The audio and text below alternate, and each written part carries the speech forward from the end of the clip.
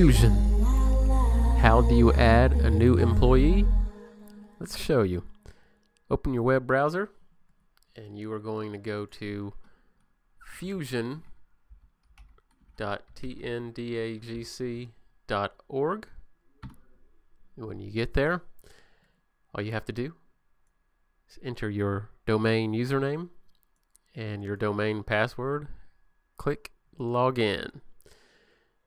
Right at the forefront of this login page, click on e Employee Management and your district should be showing I don't have any selected so I'm going to go ahead we're going to select the first district and go to the upper left hand corner and click add new employee.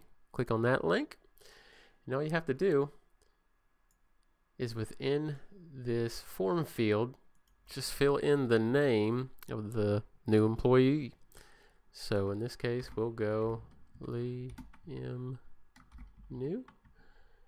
If they happen to have a nickname or a preferred name that they go by, maybe they don't like the name their parents gave them, go ahead, put it in the preferred name field, and we will use that name in their account so that they may be more comfortable with it.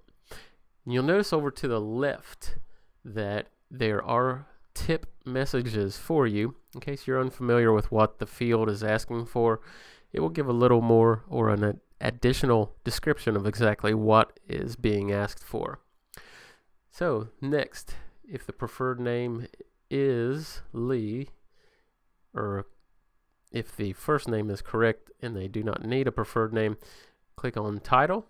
And from within here you can type in type in exactly what they need. Now in this particular field if there has been previous data that will will or should drop down such as secretary you can see as I started to type there was a populated data field that already made a suggestion that secretary is available and or secretary receptionist. So you can just go ahead, be best go ahead and click on that instead of typing it out. If you do type it out, make a mistake actually, that will enter that information in there. So just go ahead, use the drop down. You should be good. Next, whenever you do click on your office, uh, please select the city of the office that they will be working from or their official station. Once you have that selection made, Next, we tab down to funding. And you can see to the left, this will be federal, state, county, a specific grant name, etc.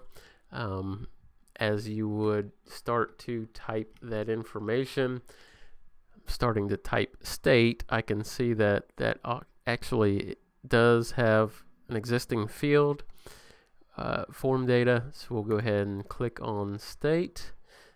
Next will be status, whether they are full-time, part-time, or intern. Make that selection. If they happen to have a an extension with their phone number, you could leave that. But other than that, you can certainly just go ahead and type in the full phone number and tab to the next field. Now the system tag this is the state tag number for the computer assigned to the new employee. Please enter that information in the field. And replacing who. This is if you happen to have a person who was working in the position that our new employee is going to fulfill. Um, please let us know that. That way we can go ahead and make preparations if the person is currently working, maybe they are going to leave the office or maybe they're going to retire, we can make preparations to close uh, some portions of their account. However, you will need to actually deactivate that employee who would be leaving. So in this case, it'll give us a heads up. We can make the preparations and keep an eye out for your deactivation ticket as you enter this into Fusion. Uh, next is information or requests. If they happen to need a laptop or a desktop or something additional, something specific, maybe an application or a program, please let us know in the information or requests field. And you'll notice in the upper right hand corner of the form field, you do have various options for additional programs.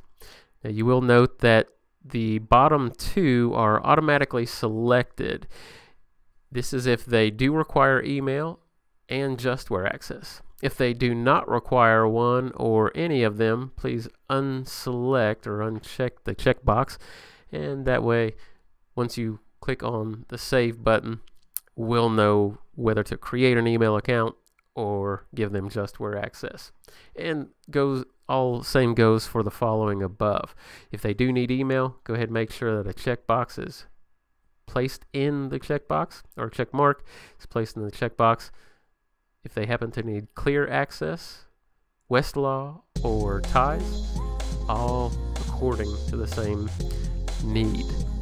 Well, that wraps up the information for how to add a new employee. Thank you very much. Have a great day.